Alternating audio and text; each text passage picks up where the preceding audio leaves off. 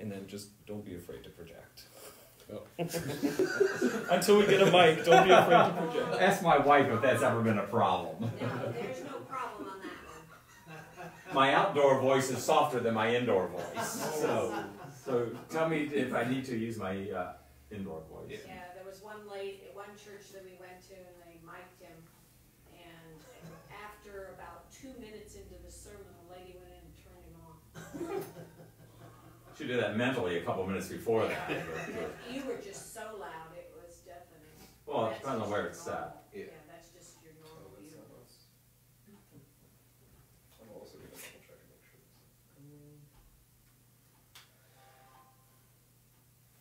Uh, yeah, I guess you don't want your ringtone going off. Yeah, in the middle. Well, that might be fun. No, fun. God's calling. Hello, is this God? By the way, Blue Bug This Color- man has a connection, direct line. Yeah, they, they can hear. Yeah, so we're live. We're live. We're We're, we're on now. we need to be quiet. You don't have to be quiet, we just have to, you know. Yeah. We just don't have who is here. Can you guess our mystery guest? How did, uh, how did Sunday school? Uh, we're a work in progress. I think what we had was good. It just, Well, it's, I mean, it's first time. yeah. You know, we tried in a classroom, we didn't have connection. We thought we should have to move to the office in the process of it. And then there were times that what they were trying to say was garbled and what we were saying was garbled. And But How many people did you have? we had fourteen log on. Okay. So, That's not bad, that's good. that's, Online Sunday school. Yeah. Yeah, that's great. yeah, we did. Who do they Virtual- contact if they want to join that next week? Um, I would say Tim's the one that's spearheading. it. Tim, okay. He's the one. And Okay. Anybody's welcome to join, but we're That's- doing a that's what I thought. series. I mean. you Well, know, it's okay. It's so better than nothing. Yeah, well, I, I said I struggled Well. last week to come up with something that I could watch. I tried to watch the Catholic Hour and that, that didn't happen. Yeah, And I don't mean to put it down, it's just there was so much liturgy and not enough yeah. meat that I just went, I can't do this. I just can't do it. If you, if you can add music, um, there's a gal who I do Bible study with, and she said it was just so quiet. She said there wasn't any music, and she Mhm. missed that, Okay. so. Got a chair This for is you, a Tim. work in, this is a work in progress, Hillary. That's kind of our plan for next week, Kat, is to kind of do music. Where, are you running away? Yeah. No, have a seat. I'm trying to. She doesn't sit keep next to me distance. We got six people. We got six people. Big audience. We're almost at our limit. Oh, it- What, the minimum? Oh, and we do need to be careful of our talking, because that was the other thing she said, she could hear talking In the background. in the background, yeah, so we need, we, we need to be quiet. Because she said if the priest was talking, couldn't people in the back. Okay, and I have ten o'clock. Yeah. We ready to go? Yeah.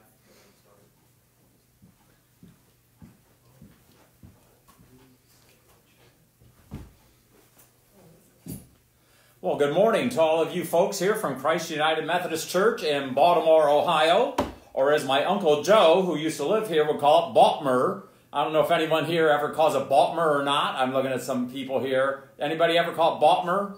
It must have just been his way of calling it. Okay, yeah, my Uncle Joe and Aunt May used to live in Baltimore. And in fact, on the way in here, we were saying, I wonder if that cemetery is where they're buried or not.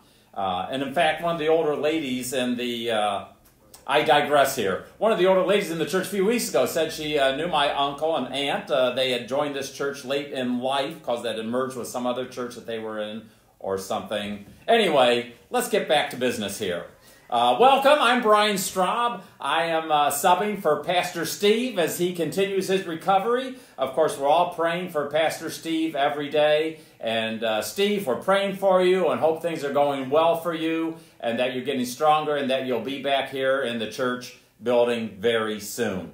We're live streaming this message today on Facebook. So hopefully, I heard uh, at least six of you have logged on and are watching this. In addition, and later on today, this will be posted on the church's Facebook page. Uh, so if you uh, have friends who missed it today and they want to see the message uh, and hear it, uh, let them know later on today. It'll be on your Facebook page, or I guess you can go to the church webpage and there will be a link there to uh, get to where you can watch this on the Facebook as well. Uh, today we're live streaming, as I said. That means you get to see me as well as hear me. That may be a good thing or a bad thing. I'm not real sure. Uh, but anyway, we're doing this today because we're in our second week of canceled services due to the spread of the coronavirus. Uh, and really, this is a huge once in a lifetime event for us. I've never been through anything like this in my life. The worst thing I've been through before this was the blizzard of 78, uh, where we were snowed into our house for, uh, what, four or five days or so and couldn't even get out of the house. Uh, but this uh, is certainly a serious time for us all in our country as well as around the world. And this demands our serious prayer time as well. So I'd for, like for us to bow our heads for a time of prayer right now. Heavenly Father, the world is certainly different from the way it was just a few short weeks ago. Last month, the coronavirus was just some disease in China. Now it has spread around the world and affected nearly everyone. There are almost 27,000 confirmed cases in our country alone and 354 Americans have died because of it. And around the world, over 320,000 have been infected, and over 13,000 have died. Those of us who have not contracted the virus see our lives totally changed. Activities, even worship services, are canceled. Necessary supplies for living have become, in some cases, scarce and hard to get. And as we stay self quarantined in our homes, we fear what may happen to the world as a result of this virus. We continue to pray for all those who have been infected by this virus all around the world. We pray for you to reach out with your healing touch, to relieve the suffering and to cure those who are now ill. We ask you to strengthen and comfort those families around the world who are grieving the loss of a loved one, who have died because of this virus. Please continue to guide and bless all those who are working to help us through this situation, the doctors and nurses that are helping those who are sick, the labs that are making test kits and working for a vaccine or a cure for this virus, our president and vice president and governor, the World Health Organization, and the Center for Disease Control. God, we pray for your peace to come and rest upon all of us. We can have this peace because we know that you hold the world in your hands. You are here to help us and strengthen us through the difficult times of life. And this is certainly one of the most difficult. And we know we can trust in you because you love us so much that you gave your Son on the cross to die for our salvation. Certainly that proves your love and that we can place our trust in you. So we pray for your Holy Spirit to rest upon us and within us, to strengthen us and to fill us with all the fruit of the Spirit. Please grant these mercies in the name of the great physician and our Savior Jesus Christ, who taught us to come to you praying together. Our Father, who art in heaven, hallowed be thy name. Thy kingdom come, thy will be done on earth as it is in heaven. Give us this day our daily bread and forgive us our trespasses, as we forgive those who trespass against us. And lead us not into temptation, but deliver us from evil. For thine is the kingdom, and the power, and the glory forever. Amen. Okay, as I said, we're canceled right now. How many more weeks will we be canceled? Well, who knows? I know uh, they are asking us to cancel through Easter Sunday right now. That means at least a few more weeks we're going to be meeting here, uh, live streaming on Facebook. Uh, how long will this last? Well, I checked my crystal ball today. Unfortunately, my crystal ball is always very cloudy, and I'm sure there's an on off switch on it, and it's usually on off. So I have always been really lousy at predicting the future. But just because we have to stay in our homes doesn't mean we can't meet together. And it doesn't mean we have to remain isolated. I mean, you still have your phones and your computers. So while we go through this time, I want to ask you folks here at Christ United Methodist Church to do several things. The first thing is this I want to encourage those of you who are spiritual leaders, and you know who you are, I'm sure you do, to use these, these tools of communication, your phone and your uh, computer, to communicate with your flock. Sunday school teachers, uh, I know there was a Sunday school class online today at 9 o'clock, and there were 14 people logged on for a Sunday school class. Now, if you're not a part of that class, doesn't matter. Uh, if you want to log on for Sunday school at 9 o'clock, and I encourage all of you to do that, uh, contact Tim Lawless. Send an email to Tim or to the church office, and we'll get instructions to you on how to uh, be able to participate in that. In addition, if you are a spiritual leader, if you're a Sunday school teacher, or I don't know if you have small groups in the church uh, that meet during the week, uh, or if you're a, maybe a, a, leader of some other group, a committee, or whatever it is, uh, communicate with your people that you lead during this coming week. Uh, call them on the phone. Uh, if, you know, if you're a Sunday school teacher, how about spending the week each evening calling a few of the people in your class and talking to them on the phone to give them some words of encouragement? And certainly to pray with them over the phone. If you're a children's class teacher or a youth class teacher, call your children this week or the youth just to talk to them and to pray with them over the phone. Uh, you know, one of the things I never say to other people is, I will pray for you. You know, I never say that to people. Instead of that, what I always say is, Can I pray with you now? People, I think, would rather be prayed with than prayed for. So when you call somebody on the phone, uh, what you might want to say is, uh, Before we hang up, can I have a prayer with you right now? And just give them a short two or three sentence prayer and amen, and then say, Okay, good talking to you. Uh, I'll talk to you later. Uh, if I know there are a lot of shut-ins within the church, uh, every church has a bunch of shut-ins, people who are under self-isolation, even in times when we don't have a pandemic. Maybe some of you who have that burden on your heart to contact them might want to call your shut-ins from the church this week. And again, just say, "Hey, I'm calling to check up uh, on you and uh, see how you're doing. Is everything okay?" And before I hang up, I'd like to pray with you. I bet they would love that.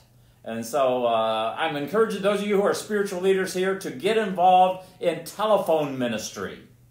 Here's the second thing I'm going to ask you to do this week. You know, all of us Christians can use this time as a great opportunity to witness for Jesus Christ.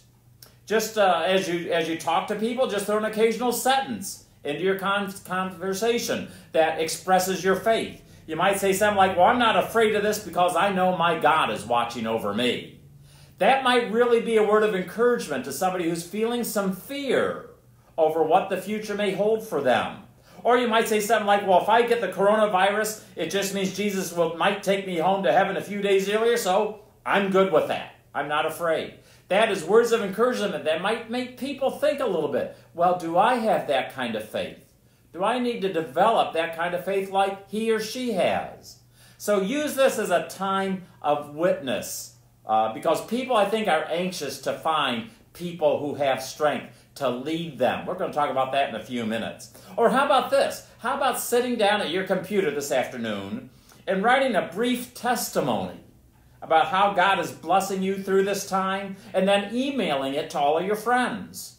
And at the course of the bottom of that email, you'll want to include a prayer. Just a brief, as I said, two or three sentence prayer where you lift up all of your friends and ask God to bless them the way He's blessing you. What a great opportunity we have to witness to others right now because of this pandemic that we're going through. And I think the world is hungry for the witness that only we can give to them. Here's the third thing I want to encourage you to do as we go through this time, and that is remember your church's financial expenses continue even when you aren't here in the building regardless if you're not here because of self isolation or you're off uh, on vacation in the summer, the church's expenses continue. Salaries and utilities and other expenses all continue need to be paid. So if you make your offering through electronic means, and I know some of you here do that, maybe you do it, uh, maybe you each month log on and make a contribution or maybe you have direct withdrawal. Uh, if you use some form of electronic giving, then you're good. You can continue just doing what you're doing. If you usually put something in the offering plate on Sunday mornings, I want to encourage you to take a minute this week and write a check and mail it in. because the church is going to continue to pay its bills even when you aren't here. And let me tell you this this is something your finance committee stresses over. I've been a pastor for over 40 years, and I've never known a finance committee that didn't deal with stress and anxiety when there was a time like this where people had to miss church, and oftentimes people then miss putting in their contribution. So uh, please feel free to continue your faithful stewardship to the church. Now, if you find your income is drastically reduced, maybe you've been laid off from work. Maybe you're like a waitress or, or a hairdresser or a barber or something like that where your business is now closed. Uh, if you find your incomes have been reduced due to being laid off, that will certainly affect what you give to God. That's one of the great parts of the wisdom of proportional giving. I am sure your pastors in the past have talked to you and taught you about proportional giving, where you give a percentage of your income. And of course, the goal, of course, which the Bible teaches, is to tithe, to give 10% of your income back to God each uh, week or month. But uh, you know, if you're giving proportionally and your income goes down, then what you give back to God automatically goes down because you maintain a percentage. And likewise, there might be times when your income goes up, and that's when you, what you give back to God goes up because you're giving a percentage, you're giving proportionally. So please keep that in mind. Pray about what you need to do uh, to support your church financially during this time and act according to how God leads you. Okay, right now I want you to get your Bibles, get everybody in the family together if there's other people in your house with you. Uh, you should have three things in front of you. One is your Bible, and you're going to open that to Ephesians chapter 4. Earlier this week, we emailed out the sermon notes. Now, if you don't have email, or if you haven't found those yet, if it's in your uh, junk mail, then just get a blank sheet of paper and I'll show you what to write down. I'll tell you what to write down as we go through this. And of course, get a pen or a pencil, and uh, you can take notes as we go through Ephesians 4, and then refer back to that each day as you read your Bible. Leave the notes in your Bible and read through those notes each day when you read your Bible. Uh, and we'll talk about reading your Bible in a little bit here this morning. Now, last week I gave you homework. Do you remember what your homework was? Of course you do because you wrote it down in your sermon notes. Your homework was to pray every day God, may your power be at work within me. God, may your power be at work within me. How did that go for you? I hope that went well for you, and in fact, that might be something you write in an email. Uh, you know, last week I prayed every day according to how uh, Pastor Brian told me to pray, God, may your power be at work with me. And this is how I experienced God's power. What a great testimony. What a great testimony. If you think it's some minor way that that took place, still, write it down in an email and send it out to your friends. Uh, and that will be great. Okay, let's start with verses 1 through 10 in Ephesians chapter 4. As a prisoner for the Lord, then, I urge you to live a life worthy of the calling you have received. Be completely humble and gentle. Be patient, bearing with one another in love. Make every effort to keep the unity of the Spirit through the bond of peace. There is one body and one Spirit, just as you were called to one hope when you were called one Lord, one faith, one baptism, one God and Father of all, who is over all and through all and in all. But to each one of us grace has been given as Christ apportioned it. That is why it says, When he ascended on high, he led captives in his train and gave gifts to men. What does he ascended mean? Except that he also descended to the lower earthly regions? He who descended is the very one who ascended higher than all the heavens, in order to fill the whole universe. It was he who gave some to be apostles, some to be prophets, some to be evangelists, and some to be pastors and teachers, to prepare God's people for works of service, so that the body of Christ may be built up, until we all reach unity in the faith and in the knowledge of the Son and become mature, attaining to the whole measure of the fullness of Christ.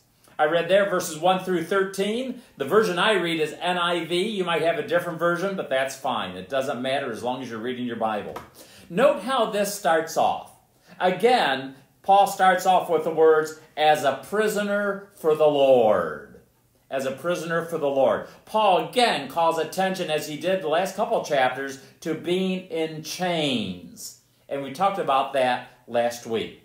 Now, for us, we may feel like we're prisoners right now, too. You may feel like you're under house arrest. And in a way, we are under house arrest, aren't we? We have to stay in our homes even when we don't want to. But remember what Paul is saying here. He is a prisoner for the Lord. And that for Paul makes all the difference in the world. Now, what's important here is that he is setting an example. Because by being in chains, Paul is different from everyone else. I am sure when he was being led from the dock of, of, the ship in Rome, at the port, into the prison where he was going to be imprisoned in Rome, the uh, soldiers would have led a procession of all the prisoners in chains through the streets of Rome to get them to the prison. And I'll bet as they were holding that parade of prisoners through the streets, all the people stopped and stared at the prisoners. I'll bet Paul loved that because he knew this was an opportunity for him to be a witness for Christ. And here's what I think the first chapter, uh, first part of the chapter 4 is saying to us. Write this down on your sermon notes. Your faith is reflected in your life. Your faith is reflected in your life. In other words, Christians should be different from everyone else. A few years ago, a few years ago, for an old guy like me, means me maybe 25 or 30 years ago, Stanley Hauerwas and William Willimon wrote a book called Resident Aliens. And what the whole gist of their book was is that we are not to be like the rest of the people on earth. We're not supposed to, as Christians, to blend in with other people any more than people from outer space would be able to blend in from, with other people. We're more to be like, let's think of Mr. Spock on Star Trek, or E.T., or some of the aliens in Men in Black, or Alf. Alf is, I think, my favorite alien. Uh, you know, if Alf were to walk in this room right now, people would immediately look at Alf and say, he's not normal. He's not of this world, is he?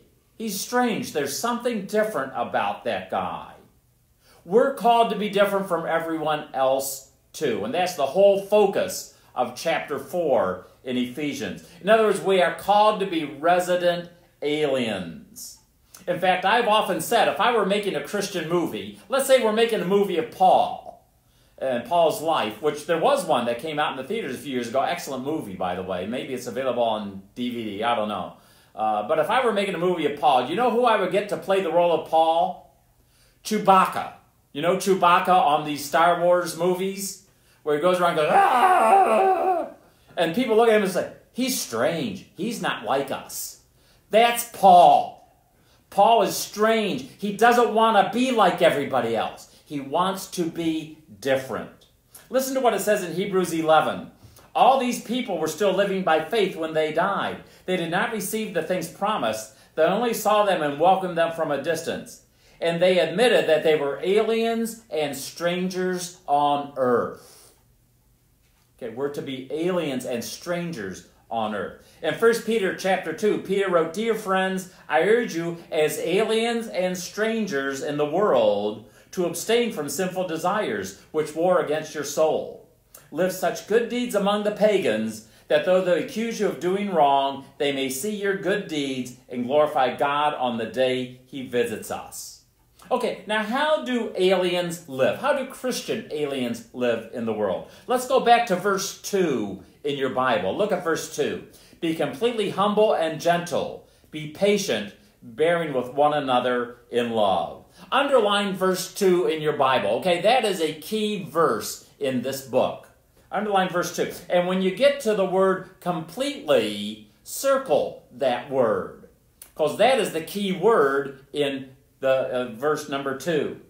This is probably the most important part of Ephesians. And this is probably the biggest problem most Christians have today. Most Christians, we have to admit, don't want to be completely like Christ.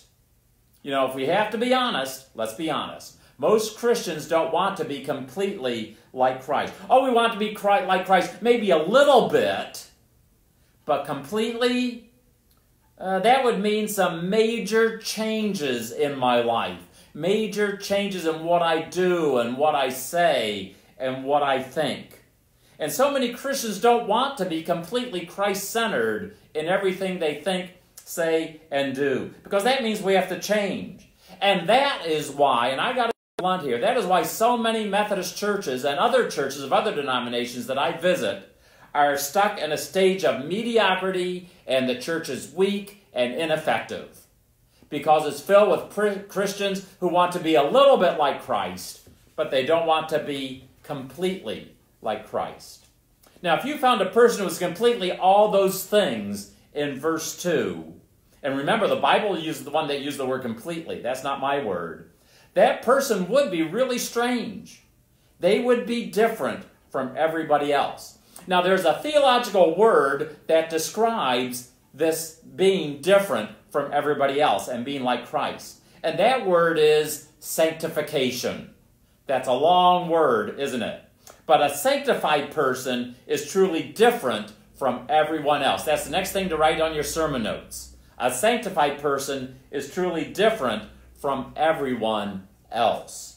Listen to what uh, it says in John 17. They are not of the world, Jesus says, even as I am not of it. Sanctify them by the truth. Your word is truth. As you sent me into the world, I have sent them into the world. For them I sanctify myself, that they too may be truly sanctified. Jesus is praying. You know, uh, John 17 is a prayer, which Jesus prays for his disciples. And think about this when you read John 17, he's praying for you specifically in that prayer as well. And he is praying for us to be sanctified, to be completely like him. Let me read those verses again in a different version. That was the first one was NIV. This is New Living Translation. This is how this puts it. They are not a part of this world any more than I am. Make them pure and holy by teaching them your words of truth. As, I, as you sent me into the world, I am sending them into the world. And I give myself entirely to you, so they also might be entirely yours. Christ doesn't want us to be a little bit belonging to God. He wants us to be entirely belonging to God. So, how does one live the faith? How does one become an alien in the world? How does one become sanctified? Well, luckily, Paul tells us. There are three ways he tells us in the rest of Ephesians chapter 4. We're going to pick up Ephesians 4 now and read verses 11 to 16. It was he who gave some to be apostles, some to be prophets, some to be evangelists, and some to be pastors and teachers, to prepare God's people for works of service so that the body of Christ may be built up, until we all reach unity in the faith and in the knowledge of the Son of God and become mature, attaining to the whole measure of the fullness of Christ.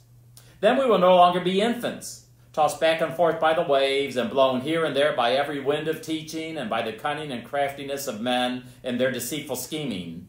Instead, speaking the truth in love, we will in all things grow up into Him who is the head, that is, Christ from him, the whole body, joined and held together by every supporting ligament, grows and builds itself up in love as each part does its work. This includes in it the first way to really grow to be sanctified, to grow to become completely like Christ. The first way is this follow godly leaders for your spiritual growth. Follow godly leaders for your spiritual growth. God gives us apostles, of prophets, evangelists, pastors, and teachers. That's also mentioned in 1 Corinthians chapter 12, where Paul goes through the gifts of the Spirit. Why does he give us those people? Verse 13, until we all reach unity in the faith and in the knowledge of the Son of God and become mature, attaining to the whole measure of the fullness of Christ. That is our number one goal. So, how do you become a mature Christian? How do you get the whole measure? By following the example of other mature Christians. Here's what we read in Hebrews 13 Remember your leaders who spoke the word of God to you. Consider the outcome of their way of life and imitate their faith. In Hebrews 13, verse 17, it says, Obey your spiritual leaders and do what they say. Their work is to watch over your souls, and they know they are accountable to God. Give them reason to do this joyfully and not with sorrow. That would certainly not be for your benefit. Think of Pastor Steve when I read that verse. Read that verse over again and think of Pastor Steve. If you want to give Pastor Steve cause for joy, then you need to follow his uh, leadership and actually do what he encourages you to do because he knows. He's a mature Christian. He knows what you need to do to become sanctified and to become truly uh, have the fullness of Christ. Now, in order to do all this, of course, that means you need to participate in the life of your church. You need to participate in the life of your church. You're doing that right now. If you're listening to this right now, good for you. If you're listening to this not right now, but later this afternoon or tomorrow or Tuesday or sometime, good for you. You're participating in the life of your church. Once we get back to where we're meeting again together, then you need to again attend worship every week. You need to get involved in a Sunday school class in small group. I imagine you can do that on Sundays at 9 now. Or uh, if you're not in a class, you need to join one. Or if you don't have one here you like, start one. Talk to Steve when he gets back and say, hey, Steve, I want to start a group, uh, Bible study group that meets on Sunday mornings. Can we have another room? Or I want to start one that meets in my home on Tuesday evenings at 7. Can you give us some material to study? What leadership can you give us as we start a new group? Let me tell you, I and, and I've not talked to Steve about this, but I know Steve. Steve would love to hear you say that to him. He would love to have you all in a class or a small group, as well as attending worship. I've always taught my people, I went through my ministry, that God wanted two hours from them on Sunday morning one in worship and one in a Sunday school class, or if not in a class on Sunday morning, in a small group sometime during the week. Then, when you do that, do what God says to do through your godly leaders. Remember, Hebrews 13 17 says, This is for your benefit. You're not doing this just for others, although others will benefit from your, from your participation. This is for your benefit as well. If your godly leader is truly godly, he will not lead you astray. He will lead you in the right direction. Now, I know there are many godly leaders in this church. We are so blessed here to have an abundance of them. You know who they are, too. Right now, I bet you have pictured in your mind one or two people in this church that you're thinking, yeah, that is certainly a godly leader in Christ United Methodist Church. But do you take advantage of them? So when they speak the truth in love, which is again in Ephesians 4, when they gently rebuke you and guide you, do you submit to their leadership? If you don't do that, if you don't submit to your religious and spiritual leaders' leadership, there is another word in the Bible that describes those people who don't do that. I talked about that a few weeks ago. There's a theological term. That term is fool. Think of fool as a theological word. Here's what we read in Proverbs 12:15. The way of a fool seems right to him, but a wise man listens to advice. Proverbs 23:9. Don't waste your breath on fools, for they will despise the wisest advice. Proverbs 19:20, listen to the advice and accept instruction, and in the end you will be wise. Proverbs 12:15, fools think they need no advice, but the wise listen to others. And Proverbs 13:13, people who despise advice will find themselves in trouble. Those who respect it will succeed. So what you need to do is to look for people who can give you wise spiritual advice, and we all need those people in our lives. I do too. Look for those people and follow the advice they give you. That's the first way we grow to be completely like Christ. Let's move on to verses 17 through 32. Okay, this is the rest of the chapter. So I tell you this, and insist on it in the Lord, that you must no longer live as the Gentiles do, in the futility of their thinking. They are darkened in their understanding and separated from the love of God, because of the ignorance that is in them due to the hardening of their hearts. Having lost all sensitivity, they have given themselves over to sensuality, so as indulge in every kind of impurity, with a continual lust for more. You, however, did not come to know Christ that way. Surely you heard of him and were taught in him in accordance with the truth that is in Jesus. You were taught, with regard to your former way of life, to put off your old self, which is being corrupted by its deceitful desires, to be made new in the attitude of your minds and to put on the new self created, new self, created to be like God in true righteousness and holiness. Therefore, each of you must put off falsehood and speak truthfully to his neighbor, for we are all members of one body. In your anger, do not sin. Do not let the sun go down while you are still angry, and do not give the devil a foothold. He who has been stealing must steal no longer, but must work, doing something useful with his own hands, that he may have something to share with those in need. Do not let any unwholesome talk come out of your mouths, but only what is helpful for building others up according to their needs, that it may benefit those who listen. And do not grieve the Holy Spirit of God, with whom you were sealed for the day of redemption. Get rid of all bitterness, rage, and anger, brawling and slander, along with every form of malice. Be kind and compassionate to one another, forgiving each other, just as in Christ God forgave you. Here's the second way Paul's telling us we can be sanctified, we can be completely like Christ. Avoid sinful practices. Write that down. Avoid sinful practices. And Paul makes a short list. This is just a short list of what the ways of the world are. In verse 9, he talks about sensuality, to indulge in every kind of impurity. That's a big category right there. That covers things like taking drugs, drunkenness, sex outside of marriage, visiting bad internet sites, spending too much time on the computer, even on good internet sites. You know, the internet can be a huge waste of time for a lot of us. How many people do I hear say, I don't have time to read my Bible, but they can spend five hours on the internet? Okay? Using the internet too much can be a bad practice uh, when they should be doing something more pleasing to God. So we need to avoid sensuality to indulge in things which do not lift us up. Verse 25 put, says, Put off falsehood. Don't ever lie. Ever. Verse 26, don't sin when you get angry. Now notice it doesn't say don't get angry. The Bible never says don't get angry. In fact, we read in the Bible God gets angry sometimes. It's okay to get angry, just hold your tongue and don't say anything you will regret later. Do not sin when you're angry. Here's what Jesus said in Matthew 5. You're familiar with the command of the ancients, do not murder. I'm telling you that anyone who is so much as angry with a brother or sister is guilty of murder carelessly call brother idiot, and you just might find yourself hauled into court. Thoughtlessly yell stupid at a sister, and you're on the brink of hellfire. The simple moral fact is that words kill. When you're angry, watch your words.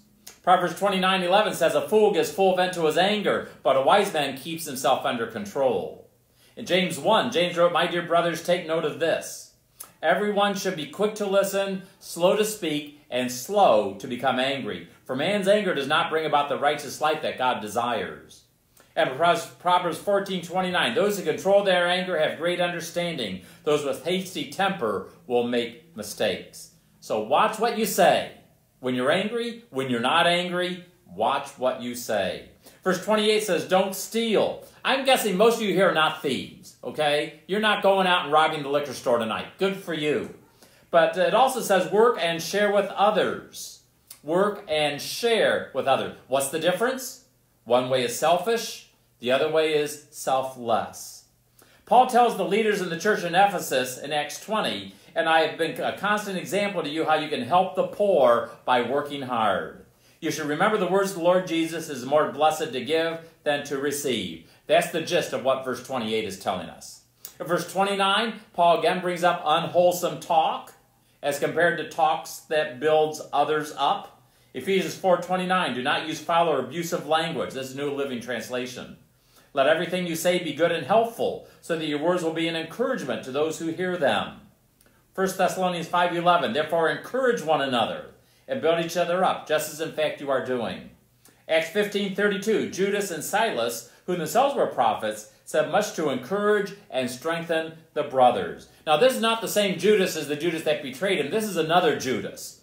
Uh, and it's but let me tell you, it's much better to be known as Judas or Silas than a critical old geezer or nag. Okay, which reputation do you want? So watch what you say. In particular, people need encouragement. I mentioned this a little bit ago. People need encouragement as we go through this pandemic. Offer them words of encouragement. Verse 22 to 24 gives us the third way we grow to be completely like Christ.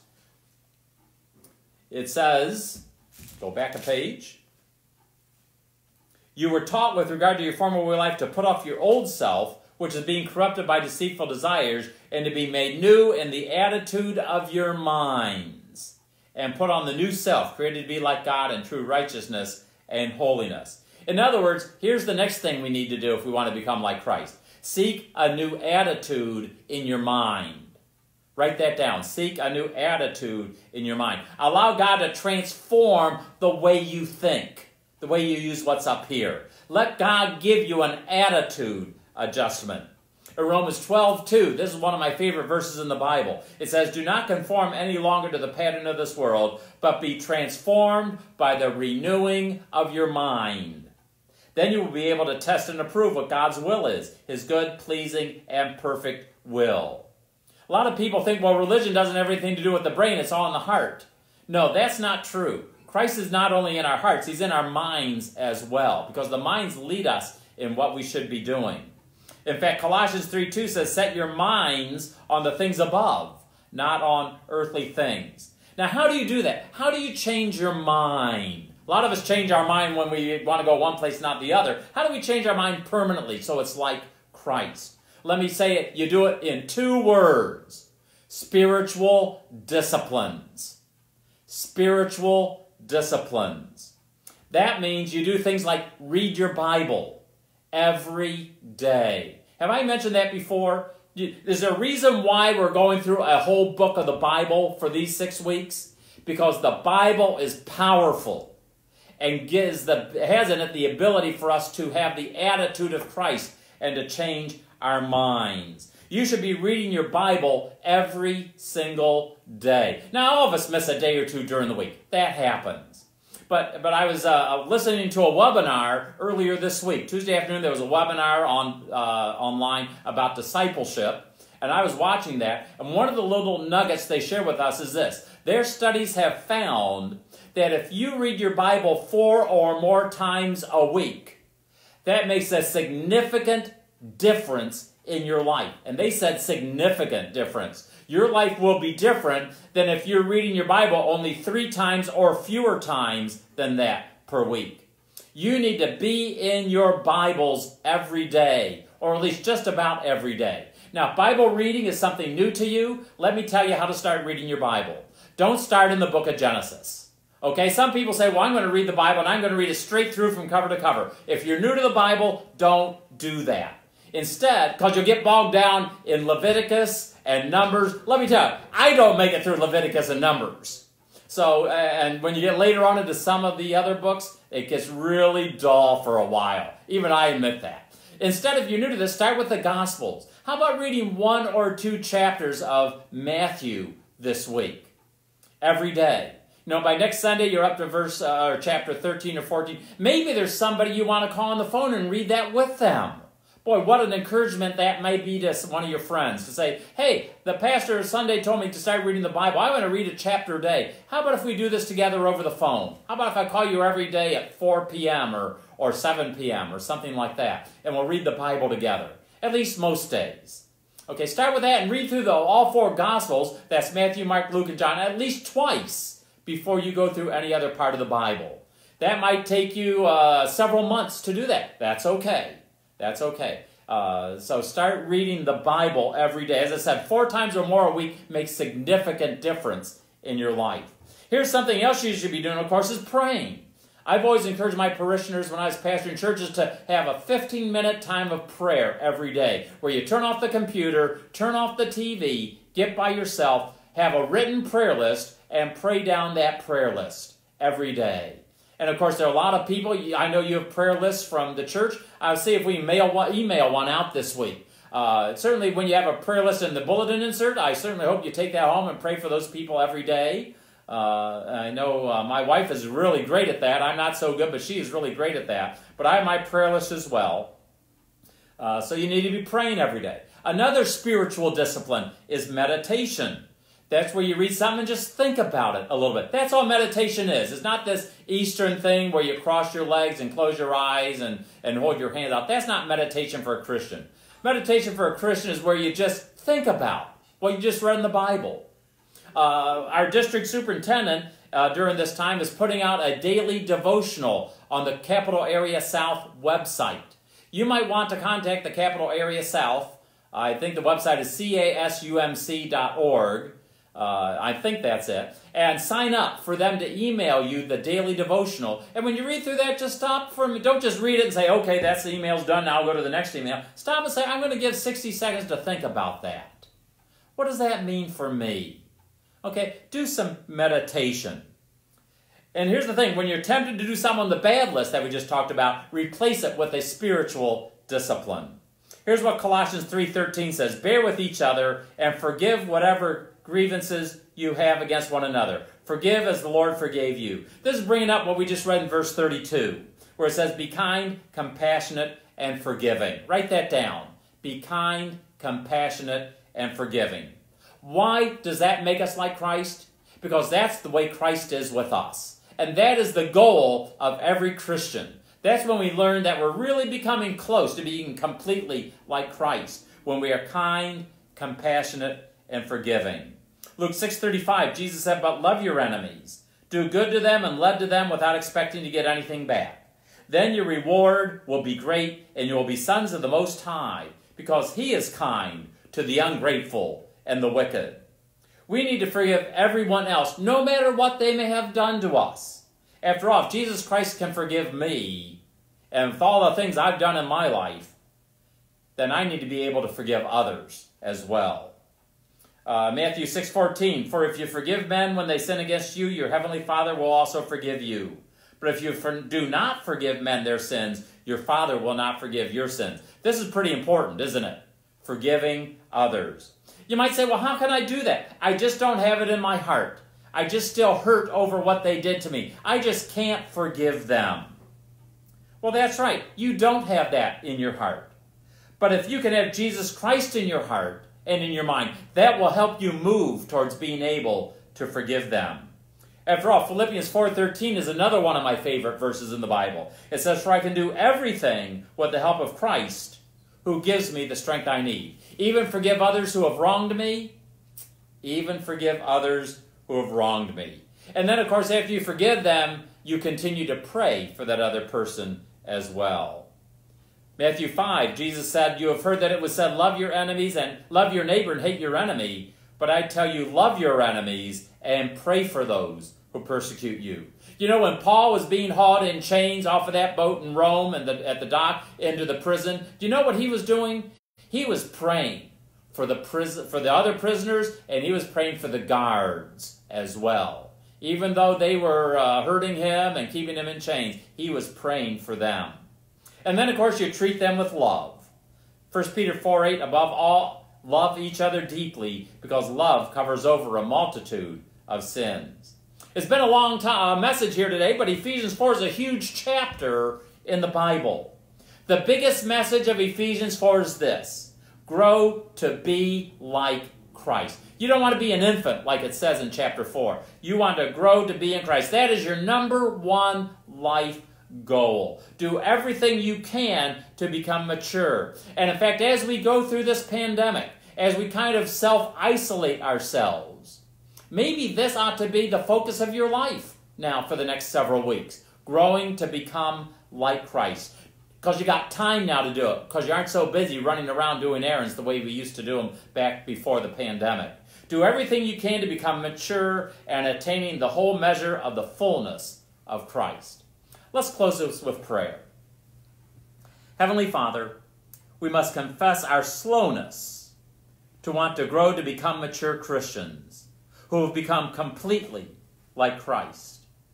We would rather stay stuck in our mediocre ways of life than actually do things that would make our lives so much better while building your kingdom in the world. Forgive us. Help us. Build us up into the image of Christ. Amen. May God bless you as you go through this week. We hope everything is going well for you. May the peace and the strength and the power of our Lord Jesus Christ be upon your minds and hearts and bodies and souls to bless you in every way over the next seven days. Amen.